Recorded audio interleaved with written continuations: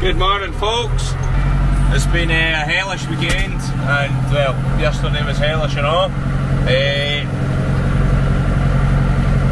absolutely pelting it with wind and rain over the weekend. Uh, storm coming in on Sunday through Monday. Uh, never let up with the wind, but we're lucky enough nothing majors went wrong. A few bins blown about here and there heard of a couple of folk with power cuts, but uh, the most happened here, fortunately, has been just some branches and bins. So overall, pretty lucky. If I'm honest, uh, apart from feeding coos, the likes of where I'm outside the now, feeding the coos, the the wind's blowing the silage all over them. Uh, it's not meant to go in their backs. it's a really windy day today. I've been struggling to make videos because it's been so windy. The, the wind on the camera doesn't work very well. It's been far too windy for me to try and make videos the last few days. Today's very windy but I'm going to try and do some stuff with the tractors and I'm going to show you how to uh, edit the mole traps to make them more sensitive because a few folk were asking how we do that. Um, so I'll show you what we do because there's a few of our traps that haven't been edited just they were bought and put the wind blowing the silage in the back window here they're bought and put straight in uh, the ground uh, just trying to get on but they're, they're not as good as the ones that we really made sensitive First of all, I'd like to thank M Store for sending me some gear. So I've got these specs here, they're fantastic. Uh, just started using them yesterday, I think, and it's just perfect for when the sun's at that rang height that it is these days. In the mornings, it's just right down at eye level, so these have been quite handy. And I've got a couple of sets of gloves that are uh, probably the best pair of gloves I've had. You know how hard it is to get waterproof gloves that are warm, because gloves are never waterproof, and they need to be waterproof here. but these things are waterproof and they're kind of lined inside so they've been fantastic especially going about in the bike. Just keeping the backs of my hands warm. With the rain on the back of it and all so these gloves I've got fantastic. Got a kind of lining inside it keeps your hands nice and warm and dry They're a bit beefy, so they're not that brilliant for little fiddly jobs, but they're just good for just doing jobs around about the farm. Uh, then I got given another set of gloves. I've not managed to use these ones much yet, but they're very grippy and they're, they're fine for the fingers, so they'll be better for the fiddly jobs. And they're actually quite warm too. What do you think? Yeah. Aye, that was M Store, thank you very much. They'll come in handy in these cold, cold windy days. Well, not so much cold at the moment, it's quite unusual. It'll change. I, I reckon there's more cold weather to come. We never get away with it that easy. the cold weather will come, but there are high winds and then rain, horizontal seems to be the main problem. Right, let's go get some work done. I've ended up at Slurry, but didn't use money. I'll show you how I tweak my mole traps. but just want to say that we've managed to spread this field down here. It's finally finished. Just in amongst all the wet days and this and that busy with other things. No managed to get back to it, but now we're back to it. Finished spreading here.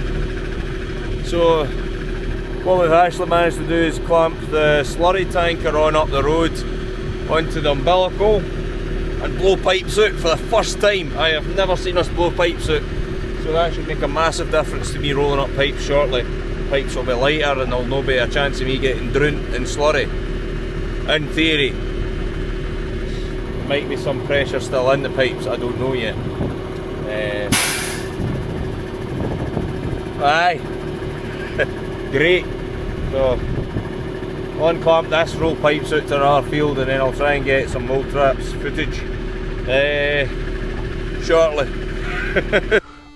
Ended up quite a day at the slurry, so I didn't manage to get any traps done. So here we are in my kitchen. I've got a dog tool on the table, so I'll get some traps and I'll get going with it. Need a set of wee long nose pliers. Don't know where these came from, but it's a it's a knife, hand out. It's one of the multi knives, very handy. I'll do the job for this. I've got that, and of course I'll be putting my gloves on while I'm touching the traps, and uh, aye, I'll get some traps. First, first, got to quench the thirst. Right, these are our traps. Uh, some of them haven't been sorted out just yet. I'm wearing these gloves that I was given by M Store. They're actually quite good for this because they're quite um, tight and good for fiddly bits. So these are the traps and they come generally with so you'll see so this is part of the latch and they're like I'm pretty sure when they're new they're either like fully right angle at this or they're slightly more than that and then the wee hooks here the hook right round. Um, nah, there, that one's better. So that's what it looks like when it first comes. This one must have been touched before, but I can still improve this one. Uh, but the hooks are the hooks go right round, and that's more than a right angle. And these, the the trigger, are quite close together if I mind right. They will be quite close together when I set it, so push this down, flick that over, and there we go. And same for the other side.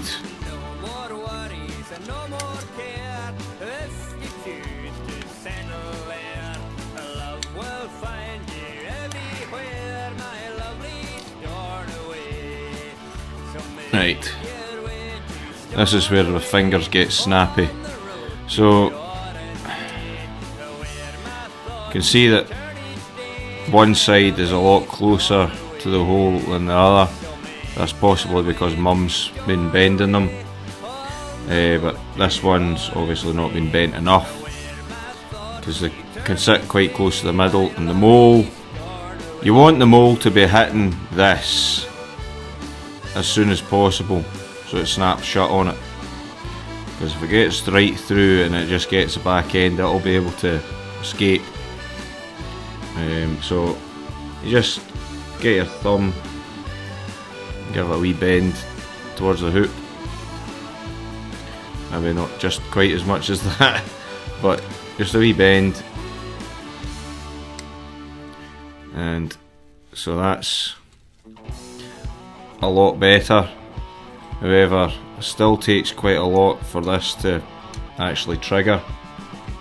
I'm actually pushing that quite hard and that's that's absolutely no use. so see how quick that is. But right, let's get these pliers.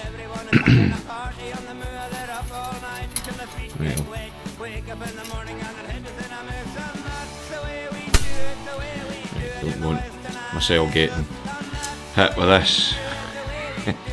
right, so the wee hooks.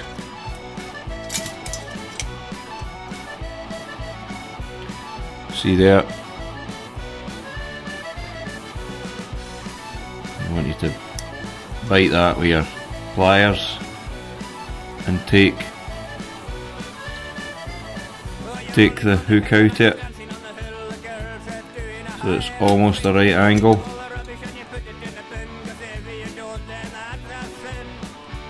And not a hoop right down over like that one. And then It's just very simple things that make this a lot more sensitive. So it can catch on this because it's not because it's a right angle or just more than a right angle it catches on that as well so you want to bend that round just ever so slightly so that it's pointing away so it's not a right angle anymore so we'll set this side and show you the difference in sensitivity. This is where you get snapped because it is that much more sensitive. If you bend it too much it'll go off without you touching it but if you've got it just right like this it'll go where you just touching it like that. See the difference there? I wasn't able just to give that a wee nudge, that was just a wee touch and away it went. So that's one side done. You know, I was able to another side, can't even do that now.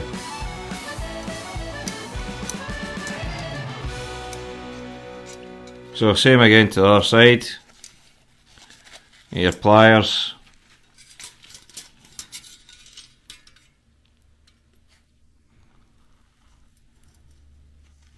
grab this, give that a wee bend out.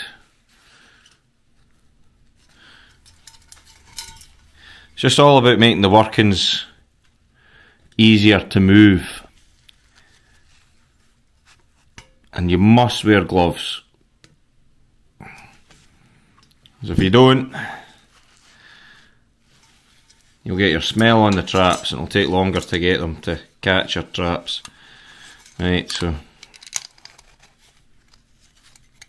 this is the side I done originally. That's ready to go. You might get a wee laugh here, I think I've done this side too much. So it might come on my... I might snap shut on my fingers. Oops, caught in my glove. Right, that's that's now set.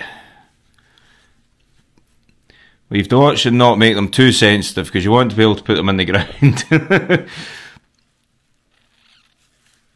so that's that's barely on there compared to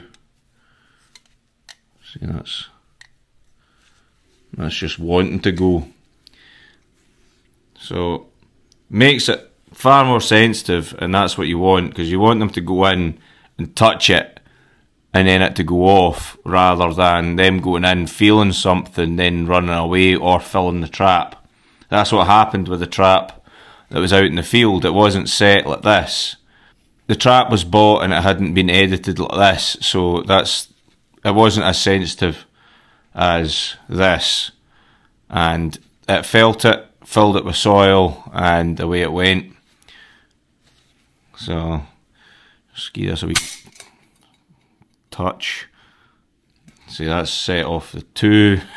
the two of them went off because of that, but you don't have to make it as sensitive as this. It's all just wee fine tuning, wee tweaks in here and there. And then when you're putting them in the ground, make sure you bury the hoop. By that I mean this, make sure that's well in the soil. So you either shove it right in so it's in the soil and they can walk over it and not feel it, or get your finger and get a wee scratch and then put it in over the top of it. So that's one trap done. I've got another three or four here to do, and then uh, that'll be that. And then I'll go set some traps uh, when I get a chance. Or if I don't get a chance, Mum will be doing it anyway, but these traps will be ready to catch some moles. What's going on with my hair? Anyway, thanks all for watching. Cheers guys, see you all next time.